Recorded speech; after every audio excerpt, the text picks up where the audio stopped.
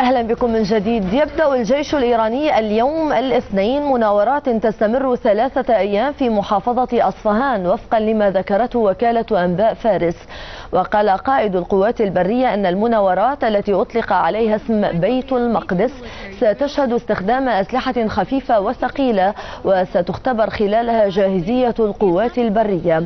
وتجرى هذه المناورة بعد سلسلة من المناورات العسكرية أجرتها إيران خلال الأسابيع الماضية. شملت اختبارا لقدراتها الصاروخية وزوارقها الحربية.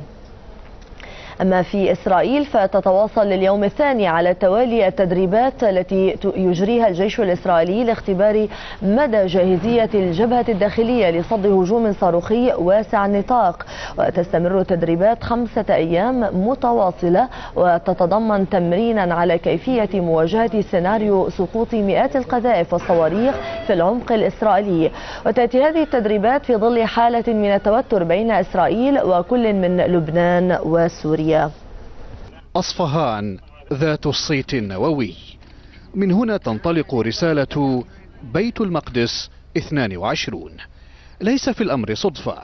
فالمدينة الإيرانية حيث محطة ناطنز النووية تشهد حدثا عسكريا ذا صلة كما يبدو بتهديدات تشعر بها طهران على خلفية برنامجها النووي.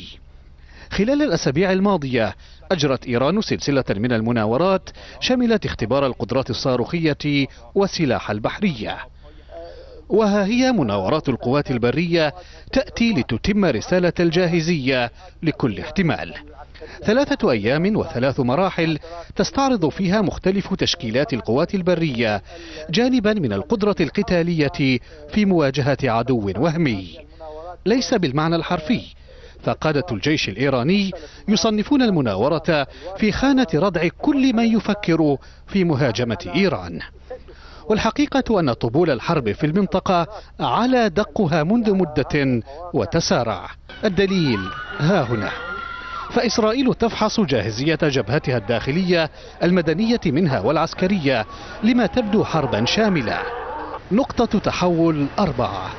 هو أضخم تدريب عسكري في تاريخ جيش الاحتلال لكن الخطاب الرسمي الإسرائيلي يهون.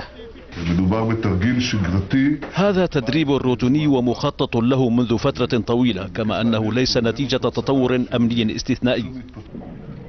غير أن قادة عسكريين إسرائيليين لم يخفوا أن التدريب يتعامل مع احتمال تعرض العمق الإسرائيلي لإطلاق مئات من الصواريخ والقذائف من سوريا ولبنان وقطاع غزة في وقت واحد.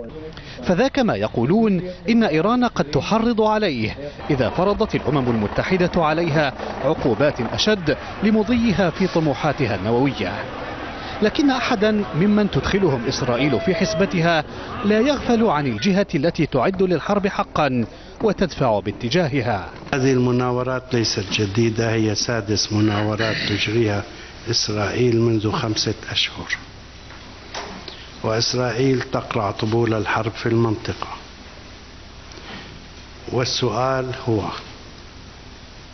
هل إسرائيل مستعدة للحرب أم للسلام؟